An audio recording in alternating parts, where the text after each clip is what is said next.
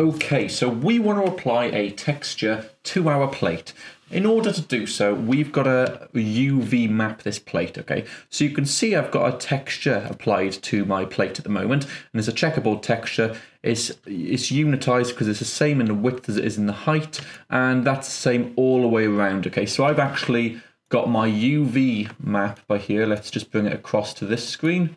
Um, let's, yeah, there we go. So I've actually got my UV map, one second, there you go. I've got my UV map by here. So I've got these, I've broken the plate up into one piece, two piece, and the rim. Okay, and you can see that in this view, you can see that little seam, white seam going across there. So yeah, this is what I've got going on. So what I'm gonna do now is I'm gonna set it all back to normal and I'm gonna show you how I got to this because then I can export this to Photoshop and start painting in my textures. So I'm gonna set it back and this is the goal for the first half of the tutorial. Okay, so this is the point that I left you guys at last time. We've applied a glass material to the wine glass and chrome materials to these. Now with the plate, I actually want to draw a pattern on it. So I've got to take it into Photoshop. However, I need to unwrap it first. And um, make sure you check out my previous lesson where I explain what UV unwrapping is. Again, think of it, if you've got a sphere and you want to texture it, um, think of an orange. You peel the outside off of an orange. So what we've actually got to do is we've got to actually convert this 3D model to 2D faces so that we can paint on 2D texture maps, okay? So this is a 3D object, we've got to convert it to a bunch of 2D faces, right? Um, so what we need to do, first of all, is we've got this selected, and if you remember when we modelled it earlier, if you hit 1 when it's selected, it's a hard, sort of um, very, very sort of low poly version. If we hit 3, this is our smooth mesh, but it's only a preview. So first of all, we've got to convert it to a high dent, more dense mesh. So with it selected, all you need to do, come to Modify, Convert, and where it says Smooth Mesh to Polygons, just click that. And now this is what we've got. It's actually converted it so, you know, that, that's our actual final mesh. So that's important. Next, what you want to do is you want to go to UV and UV editor. Okay, and you'll have something that looks like this. Okay, um, what I'm actually going to do is I'm going to make sure I've got, I don't want this panel floating, I want it next, I want it split in half. So I'm going to go to panels, you don't have to do this, but I am. I'm going to go to panels, layouts, and two panes side by side. I've got one pane here and one there. So I'm going to go into this one. I want to keep this view, but I'm going to go into this view and go panels and panel UV editor. So I've got my UV editor by here and this in here. Now, you have yours floating, do whatever you want. Now, what you'll notice is the end game is also as if you click on a different um, piece of geometry, you'll notice that this texture board may get applied to it. The reason being, just you can enable it and disable it um, by here. You want to make sure that you've got it enabled because as we view this texture, you can see that this geometry is split up into different pieces in here. So if I right click and go UV shell and just click this one, you'll see, and we can move it around, that this is one piece. This is weirdly, this is another piece. That's a bit weird, isn't it? And that's that's why it's not working. And then this is going to be the bottom, okay? So what we want to do is I want I, I want to redo this because this bit by here, you can see the squares are different sizes on the outer part, but there it's not very nice. Uh, what we can do to make this easier is if we go to object mode, just click the object and up here, see this little icon? Isolate select. What that's going to do is to hide everything else. So it's just, we can come around it more, it's just nicer, okay? So yeah, the end game is to get a checkerboard on there and to get it unwrapped properly so we can actually, let's say we wanted to draw over this bit by here. It, it's it's in its own shell. So when again when I highlight this, this is its own part, and it, oh, it's just mental. It's not nice. So in order to start, this is going to be an easy one. Okay, what I'm going to do is I'm going to go to object mode. I'm going to click the object. I'm going to come to UV. And I'm going to do a camera-based UV, but not yet. I want to come from above, okay? From above like this, look at it directly above. I'm going to go to UV, camera based and click that. What you'll notice is from where we're looking at it from above, it's just going to almost like project, like a projector, project this um, checkerboard onto it. So now as we come around, that's actually looking quite nice. But look on the side by here, but there, it's all distorted because this is actually one whole shell, okay? So it's getting projected down from where we were up here. And for, the, for that part, that's looking banging. That's awesome. But on the side, look at that distortion. It's all ugh, not very nice. So what we want to do is we want to split this off because again, if we right click shell, it's all one piece. So essentially, we, it's just one 3D model now. It's mad. So what we want to do is I'm going to split this off. So if you come to edge mode, I'm going to double click on just on the edge by here, double click that. And what it's done is it's highlighted the edge all the way around. It's all orange all the way around, okay? What I'm going to do is come to cut slash sew, and I'm going to go cut. And it's going to put a seam in there. So if I right click in here now and go to UV shell and click this, I can now move this. So what it's done is it's split it up into two shells. This one is actually working perfectly because that, that's now a 2D representation of the inner part of the plate. This is now a 2D representation of the bottom and the side. We don't want the side included on there. Okay, so we need to make another cut. So what I'm going to do, go back to edge mode, just select, double click by here, and it's going to select that edge all the way round and I'm going to go cut and cut. Now if we right click and go to UV shell, we've got, um, let's move that, we've got that as an extra bit, this is an extra bit, and look, the bottom, there we go, the, the squares are all matching perfectly, and the top is fine, and it's just this outside now. Now this outside, I'll be completely honest with you, I'm not going to keep it like that because look, it's all look at there, it's all sort of skewed and not really nice, okay? So yeah, that, that's just a little bit, oh, that's, that's horrible. So what we want to do is, I actually want to do, well, let's think about it. What shape is this? This rim around the outside, what kind of shape is it? Let's go to UV. Is it um, a plane, like a pl like you know flat surface? No. Is it a sphere? No. Is it a cylinder? Well, actually, yes, it is. That rim is technically a cylinder.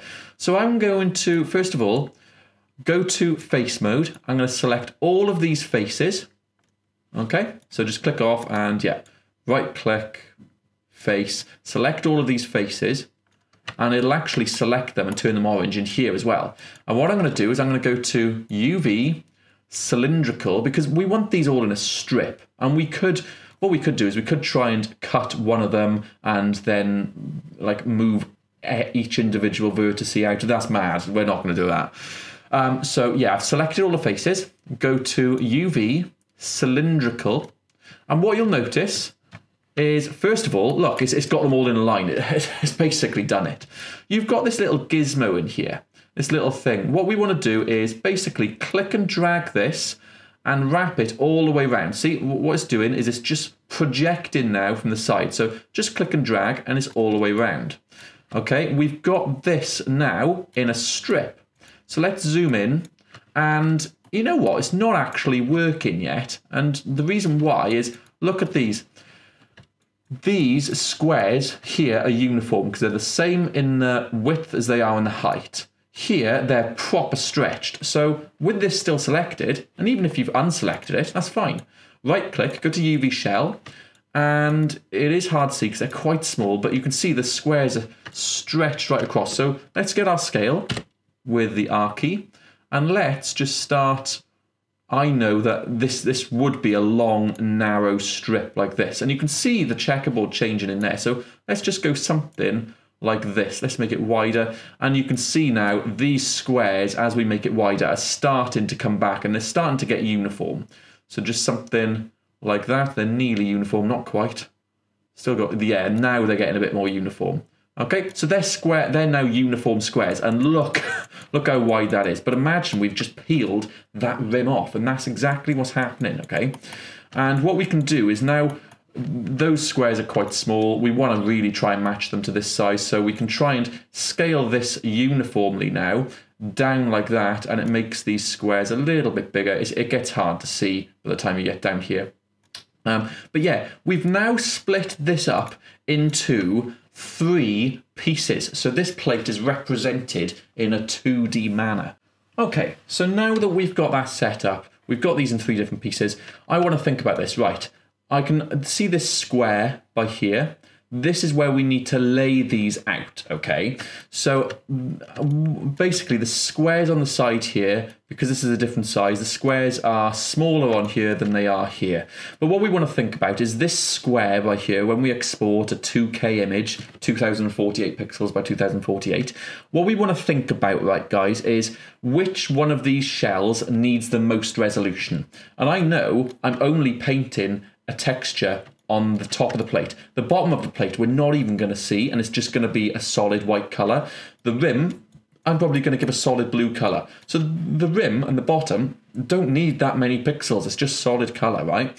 And the actual this one I'm actually going to paint detail onto. So what that means is this rim, we can scale this down to fit in here, right? In this one square, and it doesn't matter if it hasn't got that many pixels because we're not putting detail into it, so we don't need to worry. The bottom then, again, we don't really need to worry. It's going to be on the table. We're not seeing it. So to be honest, you know what? I can scale this down. It's just going to be a solid colour. I don't need to worry. What it means is I can give more, because it's got to fit in this square, I can give more pixels and more resolution to this. Hell, I could even go smaller by here, because again, it's just a solid colour. Um, I don't really need to worry. And this one, again, let's scale this up and just give it more detail. There we go. Make sure it doesn't go over the lines. And for this instance, some you'll see that the squares here are different size than they are on the bottom, okay? And they are on the side. That's okay in this instance because this is the only bit that gets texture detail. If I wanted some sort of texture map whether it's a sort of scratches map or roughness map or anything on the bottom, then I need to make sure that the squares are the same size throughout. So I'd need to rescale this, you know, to make sure it's the same size, scale them both down together. You, you know what I mean? So, uh, but in this instance, for what I'm doing in this series, I don't need to worry about it. This is going to be fine. Okay, so what I want to do now is I want to save this out as a 2D image now that it's laid out so I can take it into Photoshop and paint what I want to paint on it. So what I'm going to do is I'm going to go to Image and UV Snapshot. This is default into the dinner scene file in the images and um, I'm going to call it, um, there we go, I'm going to call it plate underscore UV. Okay, I'm going to go for image format of a PNG 2048 pixels by 2048 pixels, 2K resolution, basically pretty standard. And yeah, all that's fine. Just make sure you know where you're saving it to. And if you set your project like we did at the beginning of the, of the series, then you should be fine. Um, so all I'm going to do is click apply and close. And if I now navigate to my folder, you should see I've got this plate UV. If I double click, you'll see I've got this, okay? So that is a 2D representation. So what we're gonna do now is jump back into Photoshop, or back into Photoshop. We're gonna jump into Photoshop and actually open this image. Okay, so I've gone ahead and I've opened up my PNG in Photoshop and you probably can't see a lot. So what I've done is I've made a new layer below, filled it with black, and this is what we've got. So the actual UV PNG image was this, um, basically this, what should we call it, this wireframe. So I just want to kind of show you how this works, all right, guys. I'm going to make a new layer above and I'm going to get my brush very quickly, a very simple one first. Let's get um, pink. Let's go Oh, that's a bit, bit large. Let's go um, high. Okay, so I'm just going to show you what this is doing. I'm going to turn off my you my actual wireframe, and yeah, I'm going to keep it black with this on there. Okay, so what we'll be expecting is this the H and the I to appear on that part. Basically, let's have a look. Basically, it would appear on Ooh, let's close that down on that part of the plate by there. Okay, so what I'm going to do is, again, disable the wireframe. I'm going to go File, Save As, and I'm going to save out into my um, Source Images folder. I'm going to go Plate, Texture, Test. And I'm going to go for a, let's go for a PNG, nice and fast. Click Save and it's giving me the options. I'm just going to go largest file size, fastest saving, get it done. Um, I'm going to minimize now, and what I'm going to do is with this plate selected, right click, I'm going to ooh, right click. I'm going to go assign new material. I'm going to go to Arnold AI standard surface. I'm actually going to um, click off this now and click out of my UV editor. So what I'm going to do is just go back to perspective and there we go. So yeah, that's what we've got. We've got perspective view and also let's just go change this to orthographic top view. Okay, so that's that's what that's what we've got.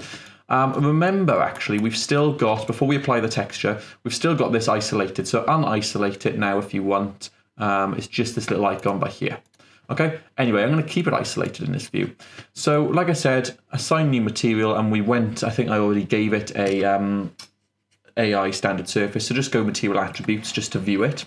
Okay, um, or just assign a new one again. But basically, in the color by here, click the checkerboard and you'll want to go to the File tab and come to the image name and find that that image. So I think mine was called Plate Texture Test. Let's click Open. And you may not see anything happen in this view. If you don't, that's fine. Just click this little textured ball up here. And what you'll see now is this little thing that's appearing there. So if we turn our UV on by here, that's why that's happening. You can see how it kind of correlates. There we go, okay? But remember, if you want to see your textures in the live view, just click that little texture ball up there, and you can click it by here as well. But yeah, that's what's happening, okay? So what I want to do is come back into Photoshop. I've given you an image. It's called, um, this is called Floral Texture, so William Morris Texture, I think. So what I'm going to do is I'm very quickly, I'm almost going to, I want you to do what, whatever you want, right? I'm going to time lapse myself now, just pulling something together for this plate, okay? So I'm going to time lapse myself doing that. Thank you.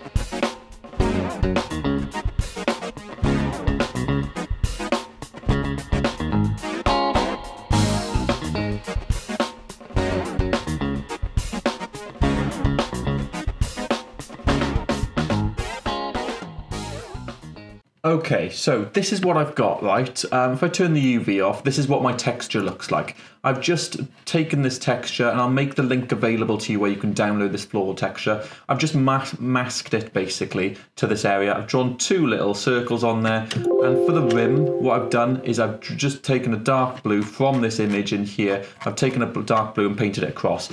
What you want to do is make sure I put my UVs on top just so I could see everything was lining up. Um, everything else, I think, I want it to be white, so I forgot, nearly forgot to do that. It's terrible, isn't it? Um, so I'll just get a new layer, put it below everything. Yeah, and I'm just to go for a white, get my paint bucket. There we go. Um, so what we want to do is make sure the UV's turned off. So the bottom, this is the shell for the bottom, that's going to be completely white. The rim is going to be completely blue. In fact, I'm just going to like um, go to wherever that rim is, that rim color, and I'm just going to get the eraser really, really small. I don't normally use the eraser, but I'm just going to make sure it's not having any, yeah, not spreading over there. Cool. So that's what the plate's going to look like. So turn your UV off go to file, save as, you do whatever you want. Um, I'll make this available as well, this little texture thing. I'll, I'll upload this JPEG for you just in case. Um, plate UV, I'm going to go, right, dinner scene images, there we go. Um, plate underscore texture. Um, let's go PNG and plate underscore texture, save and save.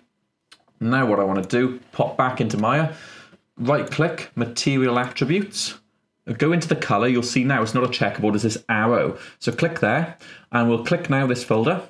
And where is it? Plate texture test. Ah, I think I saved it to the wrong folder in here. So file, save as. I saved it into, ah, I need to save it into source images. So plate underscore texture and PNG there we go. Plate underscore texture, save, okay. And now it should be plate texture in here. Let's just come back out and refresh. Source images, plate texture, there we go. Click open. And now this is our nice little texture. So we got that rim around the outside. We've got that texture there. To be honest, I'd probably go back and change this if it were me to make this um, go a little bit closer towards the edge, okay? But anyway, that's our little texture. So what I'm gonna do is click this, I'm going to unisolate it. I'm going to come back out and we were rendering in the last so in the last one. So with this surface, I want to go into or right click material attributes. I want to actually see, is it reflective enough? How does it look in my render?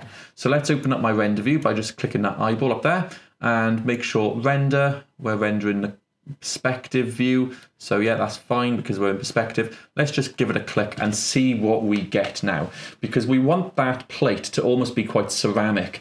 And actually the standard settings, to be honest, their working is quite reflective. Now, to be honest, the only thing I want to change here is looking at the specular. We've, we've got, this is where the colour's coming from. Um, looking at the specular, the roughness, if we, tell you what, if we zoom in, just so we can get a closer look, let's zoom in and do a re-render, because it looks a little bit rough, and it may be the kind of quality of the render settings. I'll have a look at them later. These sort of reflections, they are still a little bit too rough. So if we take the roughness of the specular down to, let's say, 0.05, um, let's yeah make sure 05. Hit enter. Let's keep the last image so we can compare and click render again. Let's see now how this one comes through. It's already, yeah, look, look at those reflections there. That's banging. So before and after, that's exactly what I wanted. That plate is looking lush. Okay, let's do another last minute render, see where we are so far before we move on to doing the table. Let's do a little render view from here and let's see where we are. We won't have much left then. We're just going to UV and texture the table, go through a little bit of, um, oh, look at that. That is looking beautiful. Um, cool. Right, yeah. In the next lesson, we're going to look at UVing the table. That one's probably going to be even, even easier, hopefully. Um, but yeah, I'll see you in the next video.